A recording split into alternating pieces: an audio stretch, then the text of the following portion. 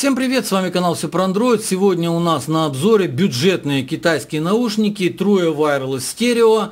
Э, но хочу заметить сразу, что версия Bluetooth 5.0, несмотря на их стоимость около 18 долларов. Позиционируются они как T2S и имеют следующие параметры. Начнем, пожалуй, с технических характеристик. Выполняются наушники в двух цветах, черном и белом, поддерживают следующие Bluetooth протоколы.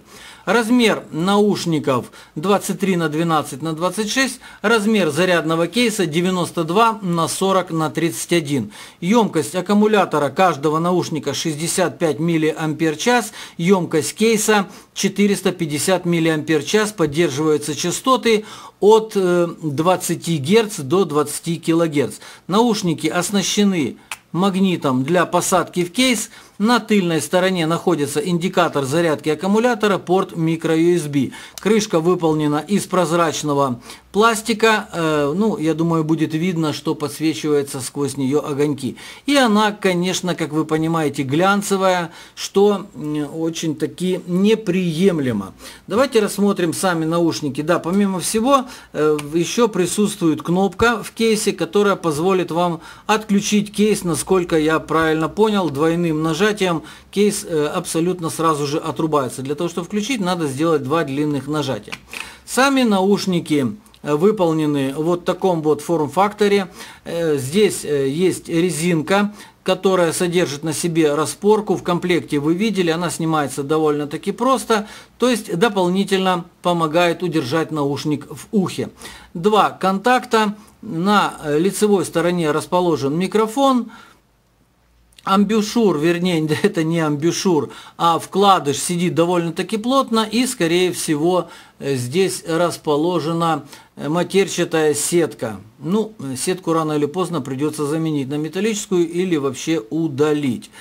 Посадка в ушах довольно-таки интересная, несмотря на то, что все равно есть в наушнике вот такой вот изгиб, наушник приходится вставлять в ухо и немного доворачивать, чтобы вот этот вот фиксатор э, удобно расположился в ухе.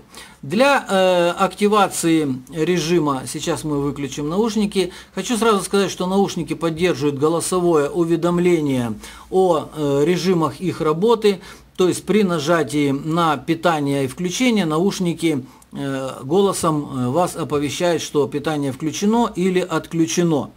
Э, наушники умеют работать как поочередно, то есть в режиме гарнитуры, для чего вы можете использовать как левый, так и правый наушник, по умолчанию хостом, а именно наушник, с которого необходимо начинать сопряжение, это левый наушник. Для того, чтобы сопрячь наушники, вам необходимо зажать оба наушника, подождать, пока они войдут в режим сопряжения, и после 30 э, секунд наушники должны законнектиться между собой. Если же вы хотите один наушник использовать, тогда вам необходимо просто отключить наушник левый или правый, положив его в кейс или удерживая кнопку.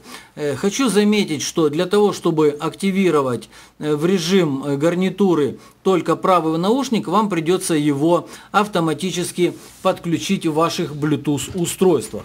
Для того, чтобы наушник активировать, как я уже говорил, его необходимо ввести в режим сопряжения и, соответственно, на вашем смартфоне или планшете, включив Bluetooth, задать поиск что мы сейчас и сделаем. Делаем поиск. Э, наушники поддерживают, как я уже говорил, э, голосовое уведомление, поэтому после сопряжения ваши наушники подключатся, как много здесь у меня устройств. Вот наш наушник левый. Э, connected был звук и теперь ваш наушник будет работать в режиме гарнитуры. Поддерживается формат медиа-аудио, наушники Э, работают э, по кодеку SBC. Э, ну, я думаю, что для бюджетных наушников вполне это все и понятно. В общем, внешний вид довольно-таки интересен, из уха сильно не выпирают. Давайте, пожалуй, по моим впечатлениям, по звуку, по работе, как работает в режиме стерео. В режиме стерео обрывов я Э, честно сказать, э, не наблюдал, но опять-таки зависит от того, в каком э, кармане лежит ваш смартфон. Поскольку левый наушник является хостом, Поскольку левый наушник является хостом, то лучше использовать левый наушник в режиме гарнитуры и телефон, соответственно, держать в левом кармане.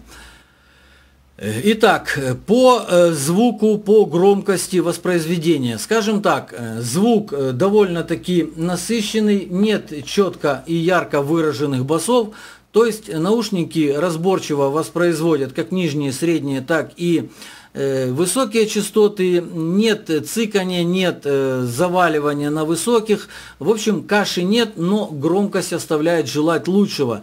Э, наушники подойдут для использования и прослушивания музыки, я бы сказал, в фоновом режиме. Если вы любите очень громкую музыку, тогда это не ваш выбор, поскольку большой громкости, возможно, это обусловлено тем, что импеданс 32 Ома, раскачать наушники даже на моем пикселе на громкость э, как в блиц, блицвулковских наушниках, у меня почему-то не получилось. Но звук довольно-таки приемлемый, не нагружает, не шипит.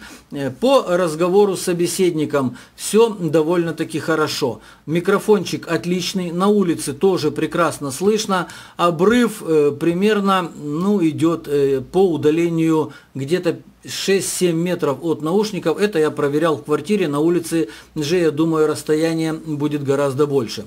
Функционал наушников, э, скажем так, ограничен. Э, во-первых, только по э, только на телефоне вы сможете переключать треки. Наушники этого не поддерживают. Они поддерживают голосовой звонок. Принятие осуществляется обычным нажатием. Постановка на воспроизведение, на воспроизведение паузу тоже осуществляется по нажатию на сенсор. Сенсор, э, честно говоря, не мешает. При постановке в ухо будьте аккуратны, а в общем сенсор работает хорошо. Сори, да, здесь у меня сейчас я включу музыку для того, чтобы продемонстрировать работу. Да, извините, пришлось прерваться. То есть по одиночному нажатию работает воспроизведение пауза, по двойному тапу присутствует последний набранный звонок. Э, больше по управлению наушников ничего и нету. Прием вызова, соответственно, в режиме вызова одиночный тап. Э, то есть, как видите, функционал наушников ограничен только паузой и воспроизведением, приему звонков, отбой звонок, соответственно, не работает голосовой ассистент, не работает э, перемотка треков и воспроизведение следующего трека. Э, то есть, ну, как понимаете, бюджетные наушники. По звучанию довольно-таки, еще раз повторюсь, довольно-таки приемлемое звучание. Э, ну, цена обуславливает и функционал. Сейчас идет скидочка, она будет продолжаться еще пару дней. У кого есть желание купить бюджетные китайские наушники с довольно-таки приемлемым звуком, то можно будет перейти по ссылке. Общее впечатление, конечно же, у меня осталось среднее, не хватает функционала, хотя бы была громкость на максимум, э, вернее, хотя бы была э, выше громкость, уже было бы более-менее. Ну, э, как вы понимаете, Цена-качество, соответственно, выбор остается за вами. Ссылка на наушники будет в описании видео. Подписывайтесь на канал, оставляйте комментарии. До новых встреч!